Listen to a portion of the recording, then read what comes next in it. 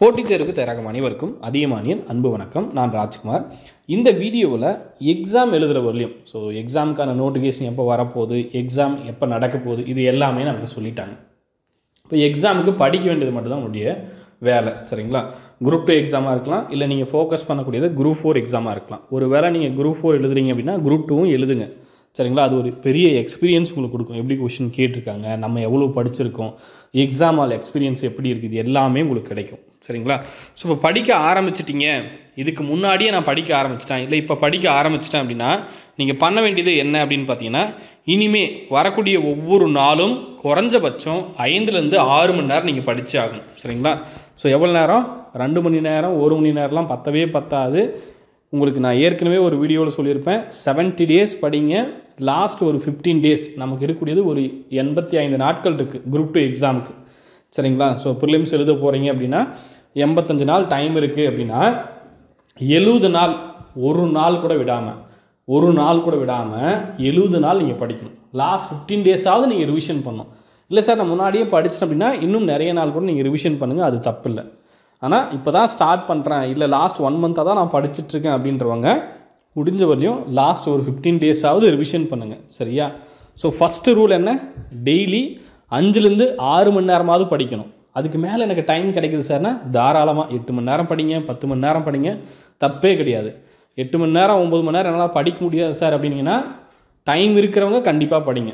ஒரு வேலைக்கு போகிற மாதிரி சரிங்களா? எட்டு மணி நேரம் வேலைக்கு போய் வேலை செய்கிறாங்க இல்லையா? அதுபோல் காலைல ரெண்டு மணி நேரம் மத்தியானம் ரெண்டு மணி நேரம் சாயந்தரம் ரெண்டு மணி நேரம் நைட் ரெண்டு மணி நேரம் படித்தா படிக்க முடியும்.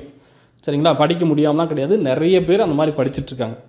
சரியா? ஸோ எட்டு மணி நேரம்லாம் படிக்க முடியுமா சார் பத்து மணி நேரம்லாம் படிக்க முடியுமா? படிக்கலாம். படிச்சுட்ருக்காங்க. சரியா? ஸோ நீங்களும் எக்ஸாம் கிளியர் பண்ணோம் அப்படின்னா உங்களுடைய மேக்ஸிமம் டைம் என்ன அப்படின்றத பிளான் பண்ணுங்கள் இன்றைக்கி ஒரு வாரத்துக்கு மட்டும் பிளான் போடலாம். அடுத்த ஒரு ரெண்டு வாரத்துக்கு மட்டும் பிளான் போடலாம் அப்படின்னா கிடையவே கிடையாது. 75 ஃபைவ் டேஸ் அடுத்த 70 டேஸ்க்காவது குறைஞ்சது 70 டேஸ்க்காவது நான் இதை படிக்க போகிறேன் இது இதெல்லாம் ஃபாலோ பண்ண போகிறேன் ஸோ எனக்கான டைமிங் இது. நான் ஒரு ஆறு மணி நேரம் டெய்லியும் படிக்க போகிறேன் காலையில் அஞ்சு மணிலேருந்து ஏழு மணி வரலையும் சரியா?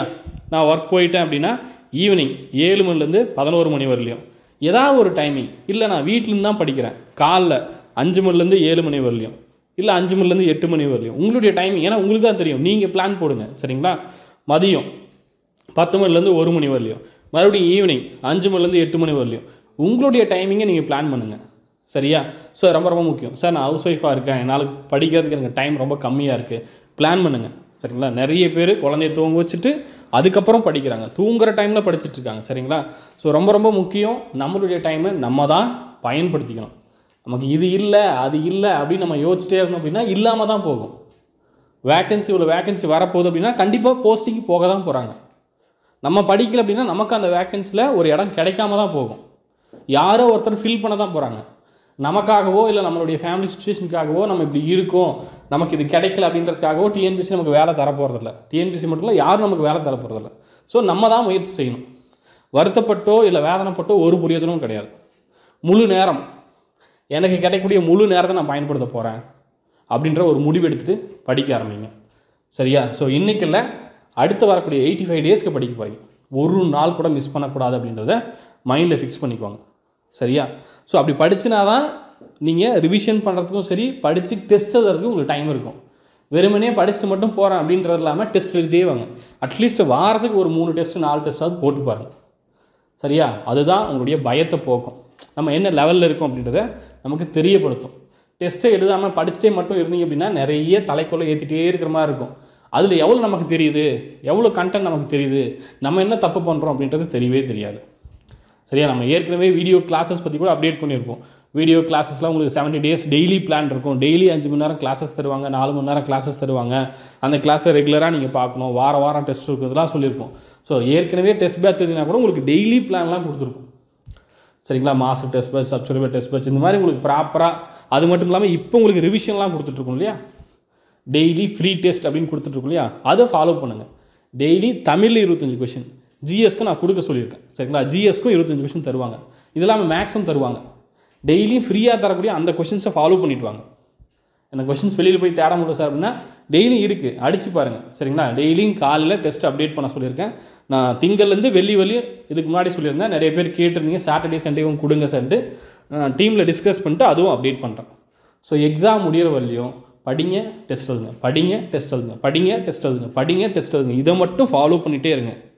சிம்பிளாக சொல்லணும் அப்படின்னா கடமையை மட்டும் செய்யுங்க. நீங்கள் செய்யக்கூடிய விஷயத்த கடமைக்கு அப்படின்னு செய்யாதீங்க. சரியா? ரெண்டுக்கும் ஒரே ஒரு இரண்டாம் வேற்றுமை உருவும் நான்காம் வேற்றுமை உருவும் தான் வித்தியாசம். சரிங்களா? கடமைக்குன்னு செஞ்சீங்க அப்படின்னா ஒன்றும் பண்ண முடியாது. நம்ம தோற்று தான் போவோம். சரியா? நம்ம கடமையை செய்கிறோம் அப்படின்னு நினச்சி செஞ்சுட்டே இருங்க. என்னுடைய கடமை இது அப்படின்னு நினச்சி செய்யுங்க. சரிங்களா? யாரோ சொல்கிறாங்க எதுக்கோ சொல்கிறாங்க அப்படின்ற மாதிரி படிச்சிங்க அப்படின்னா கண்டிப்பாக வெற்றி பெற முடியாது. அது உங்களுக்கும் எந்த விதமான ஒரு திருப்தியுமே கொடுக்கவே கொடுக்காது. எக்ஸாம் வர வழிவழியும் செய்ய வேண்டிய விஷயங்கள் இது மட்டும்தான். படிக்கிறது டெஸ்ட் எழுதுறது. சார் எனக்கு டைம் இல்லை. காலைல நேரமாக எந்திரிக்க முடியல அப்படின்னா வேலை கிடைக்கலனா உங்களுடைய சுச்சுவேஷன் என்ன மாதிரி இருக்கும்? எப்படி நீங்கள் லைஃப்பை பேலன்ஸ் பண்ணுவீங்க அப்படின்றத நீங்களே டிசைட் பண்ணுங்கள் நான் ஆல்ரெடி பெஸ்ட்டாக தான் இருக்குது அப்படின்னா ஒன்றுமே பிரச்சனை இல்லை. எனக்கு வேலை வேணுன்றவங்க கண்டிப்பாக படிப்பாங்க.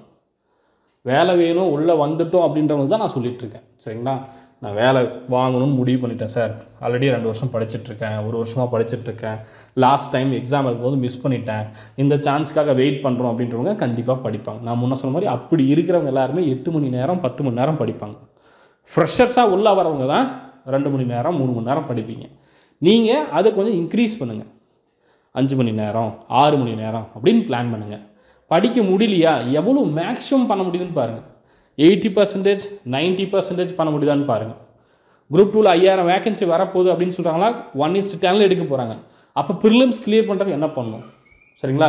எல்லாத்தையும் போட்டு படிக்கணும் அப்படின்ற அவசியம் இப்போதைக்கும் கிடையாது.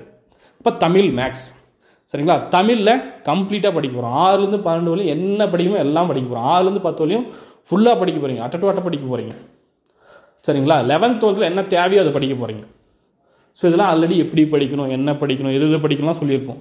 இன்னும் அடுத்த ரெண்டு மாதத்துக்கு இதையே பார்த்துட்டு இருந்தீங்கன்னா ஒன்றும் பண்ண முடியாது.